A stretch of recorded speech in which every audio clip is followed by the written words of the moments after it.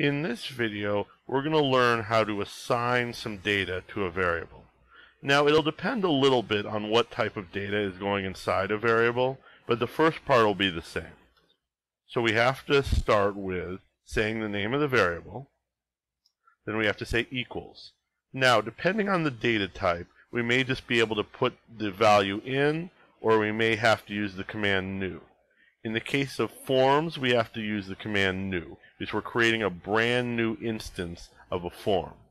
Again, if it were a number, if this were a data type that held a number here, we would just be able to put the number in here and say new form equals numbers. But again, when we're creating a new form, we have to actually say we're creating a new one. Now I have to specify what type of form. Because again, it's going to be a form that fits inside this variable, but there's different types of forms in my program, I have two types of forms, ask questions and form one.